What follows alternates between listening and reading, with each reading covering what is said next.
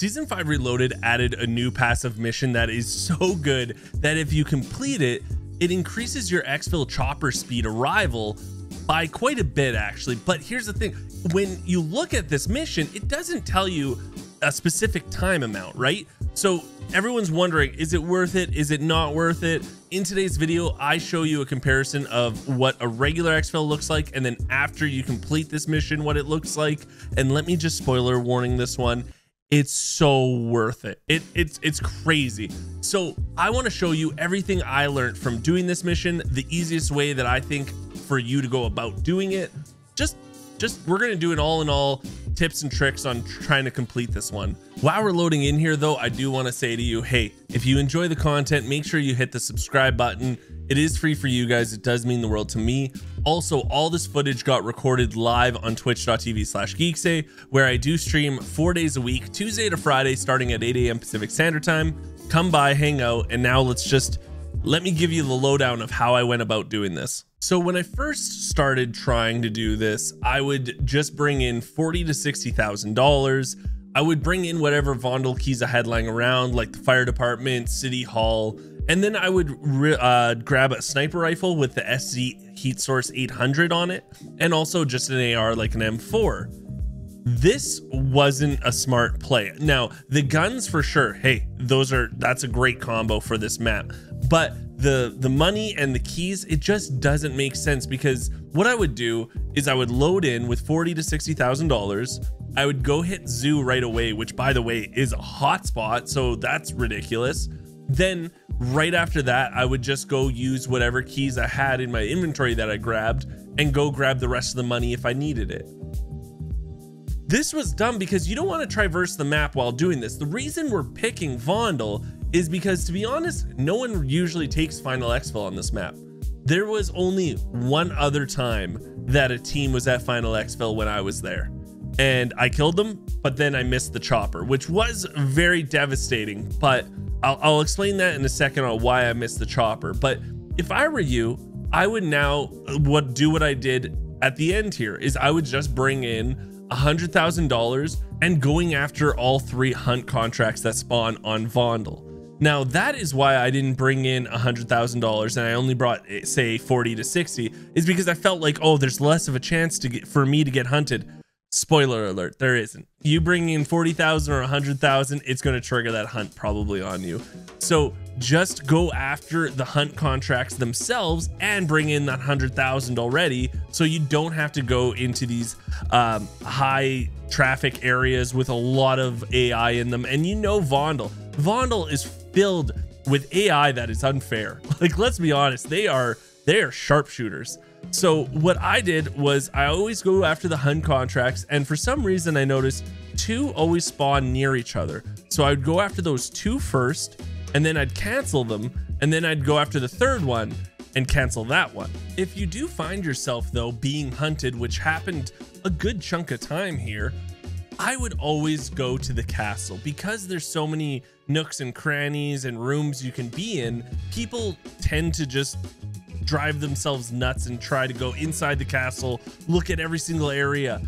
The place that I would hide is just below this walkway and just behind this pillar. There was a team that hunted me three separate times in the same match, and I just hid behind this pillar and they never found me. It's actually a pretty good hiding spot. I really, I, I think it was really great. Uh, I did have the scuba mask on me though, so if they did find me, I can just go under the water and then scurry away. But I'm, I like this spot. This spot was very nice. Something I've never noticed before until I started doing this this mission or sorry, this passive upgrade is I didn't notice that some exfils, final exfils, give you like a 60 second timer, like this one does right here. And sometimes you only get like a tech 10 second timer. And it all depends on when the final uh, of the main three exfils gets swallowed up. It's actually pretty interesting how you have to be prepared on where to go as soon as possible sometimes because when it, you only have that 10 second timer, that means you roughly have about 30 seconds to get to there once it says where the final exfil is, that if that makes sense. I've never noticed that about final exfils. Maybe it's just Vondel, I have to check that on Ashika Island. But in Al Mazrah, it definitely gives you like 76 seconds or 80 seconds. On Vondel, you either get like a 60 second timer, heads up where it's going to be, you have time to drive to it, all that stuff. And sometimes you get like 20 seconds, then a 10 second timer, and you better be on the ball. Also, don't take for granted the AI that's on Vondel. And by the way, I got killed by the Pyro going to Final Exfil. That's right. I was up in this building just hanging out and I was like, okay, you know what? There is a lot of AI over there, but it's okay. The Pyro, I guess someone died to him and they opened up City Hall where he was and he just wandered in the street and he got me. Like, what are the chances of that, right? So I do want to say this.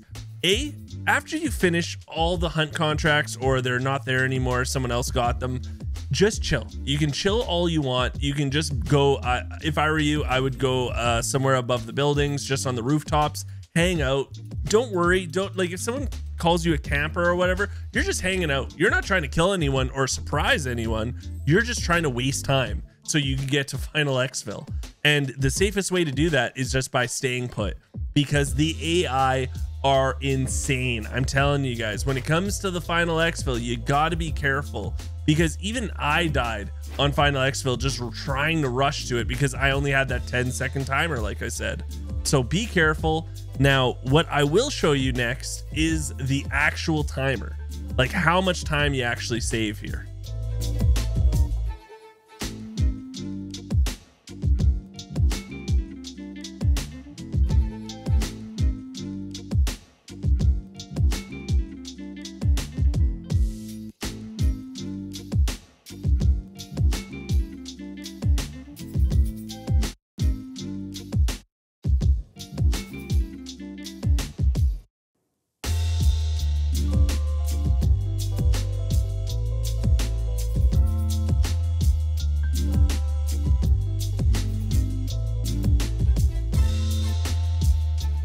26 seconds you're almost saving, almost 26 seconds, you know, 25 and a bit.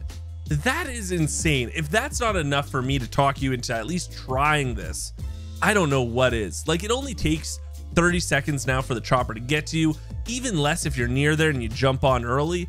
It's awesome. I it's it's so worth to do this, but I don't want to come across also with this video being like all you got to do is bring in a hundred thousand dollars and you can do it. Like it's a lot harder than that. I get that. But if you do have some extra cash lying around in your wallet and you're like, you know what, I just want to give her a go, you know, here and there, do it. Like you don't have to do it all at once, right? You can just pepper in a couple of these tries here and there when you have excess money and just, you know, slowly but surely complete this. It's, I, I can't say enough. It's super worth it, you guys. And if you have any questions about, you know, my loadout, anything like that, hey, put it in the comments down below. I'll be answering all the questions down there. Also, if you did end up enjoying this video, hey, subscribe to the channel. It's free for you guys. It does mean the world to me. Uh, oh, we got Huey here. Let me just quickly show you Huey. Oh, no, he doesn't want to come. And also, I do stream four days a week on twitch.tv slash geekseh. Uh, Tuesday to Friday, starting at 8 a.m. Pacific Standard Time. I hope you guys come by, hang out, and maybe then you can see my cute little dog Huey. So until then, I'll talk to you later.